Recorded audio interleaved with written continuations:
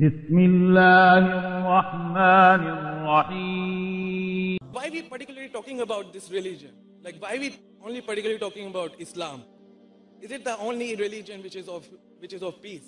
There's another religions as well. Thank you very much, my brother. The question, as I've understood it, is that we're talking about Islam, the religion of peace. True peace is achieved by worshipping the one who made you alone, without any deities together with that. So, the one who made you, that is how you will achieve true peace. Others may call towards peace.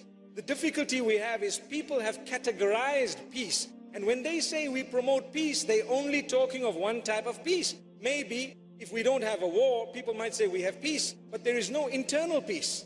And so Islam is the only faith that goes into every single detail of my life and yours and governs how exactly it should be led in a way that I would be able to achieve inner and outer peace, peace within myself. In fact, the condition of my heart needs to be rectified in such a beautiful way. That's a whole topic on its own. And the entire condition, I am at peace with my own limbs and with the entire creation around me. And on top of that, I promote that peace that we're talking about when it comes to the opposite of war. So, my brother, holistically, yes, Islam is the faith that promotes holistic peace. And in my opinion, and that of those, it is the only faith that has in it every speck of detail regarding how to achieve that particular peace. Hence, we call it the religion of peace.